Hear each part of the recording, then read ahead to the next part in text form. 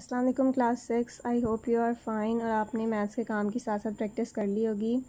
Previous lecture में हमने exercise six point two के क्वेश्चन नंबर वन कंप्लीट कर लिया था। लेकिन कुछ बच्चों को एक्सरसाइज सिक्स पॉइंट वन में एच और एल सी एम सही तरीके से नहीं लेना आता। तो आज मैं आपको एच और एल सी एम किस तरीके से लेते हैं वो बताती हूँ। सबसे पहले तो आपको पता होना चाहिए कि एच किसको कहते हैं और एल सी एम किसको कहते हैं। एच का मतलब होता है हाईएस्ट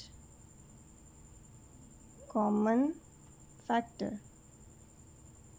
और एम का मतलब होता है लीस्ट कॉमन मल्टीपल अब इसके बाद आपको एक चीज़ पता होनी चाहिए फैक्टर और मल्टीपल क्या चीज़ होती है?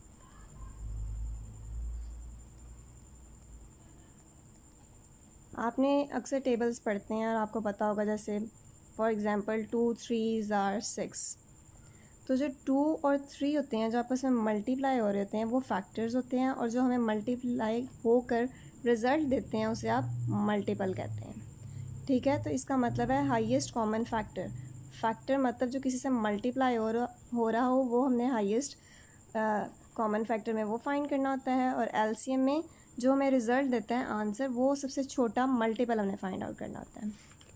अब देखें, जैसे आपने एक क्वेश्चन किया था ट्वेंटी फाइव रेशियो फोर्टी तो उसमें आपने उसका H C F find out करना था। अब H C F find out करने के लिए आपने ट्वेंटी फाइव और फोर्टी के इकट्ठे फैक्टर्स लेने थे और आपने अब कॉमन फैक्टर्स लेने हैं, यानी इन दोनों में जो आते हों तो फाइव फाइव ज़ा ट्वेंटी फाइव फाइव एट ज़ा फोर्टी इसके अलावा ना ही फाइव और एट किसी सेम टेबल पर आते थे तो इसका एच सी एफ़ हमारे पास क्या आ जाएगा? फाइव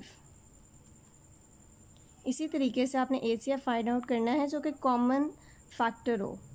दोनों दोनों नंबर्स में जो कॉमन होगा वो आपके पास उसका ए सी एफ़ आ जाएगा। अगर इससे ज़्यादा नंबर पे ये डिवाइड होता है तो फिर हम उसको उसके साथ मल्टीप्लाई कर कर लेते। जैसे लेट सपोज़ आपके पास नंबर है ट्वेंटी फाइव और फोर्टी फाइव या फिफ्टीन और फोर्टी फाइव कर लें।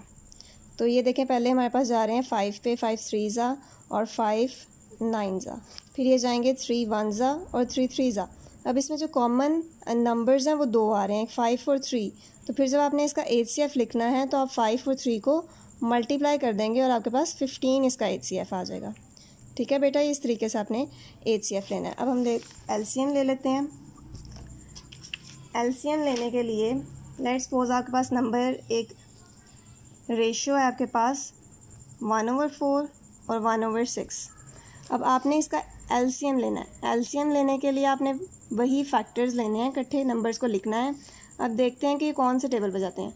जैसे टू टू ज़ा फोर टू थ्री ज़ा सिक्स अब आपने ये नहीं देखना कि जो कॉमन है सिर्फ़ उसी से करना है, बल्कि आपने इन सबको सॉल्व करना है। अभी जिस पे नहीं जाता, ये जा रहा है, आपने उससे भी इसको करना है। जैसे टू से अगर मैं कर रही हूँ टू वन ज़ा ये टू इस थ्री पे नहीं जाता तो ये थ्री एज इट इज़ नीचे आ जाएगा। फिर अब थ्री वन ज़ा यानी आपने लास्ट पे जो आपका आंसर है वो वन होना चाहिए दोनों का। तो अब जो आपके पास ये सारे साइड पे नंबर्स आए हैं, आप इनको मल्टीप्लाई कर दें तो आपके पास एल सी एम आ जाएगा। टू टू ज़ा फोर फोर थ्री ज़ा ट्वेल्व तो आपके पास एल सी एम क्या आ जाएगा? ट्वेल्व ठीक है बेटा? और इस पर आपने बस ये एक चीज़ याद रखनी है कि जब आप किसी नंबर्स को देख रहे हो, उसको किसी टेबल पे डिवाइड करने जा रहे हो तो अगर वो इस टेबल से डिवाइड हो रहा है तो आपने करना है। यानी ये टू टू ज़ा फोर है टू थ्री ज़ा सिक्स है तो आप इन दोनों से इसको डिवाइड करेंगे। ये नहीं करेंगे कि टू टू ज़ा फोर कर लेंगे और सिक्स को नीचे लिख लेंगे। एल्सियम लेते हुए बस ये ध्यान रखना है कि जो कॉमन फैक्टर्स आ रहे हैं, उसे उससे डिवाइड करें। इस तरीके से आपने एल्सियम और एच लेना है। और बाकी जो है नेक्स्ट इन हम कल करेंगे। अल्लाह हाफिज़।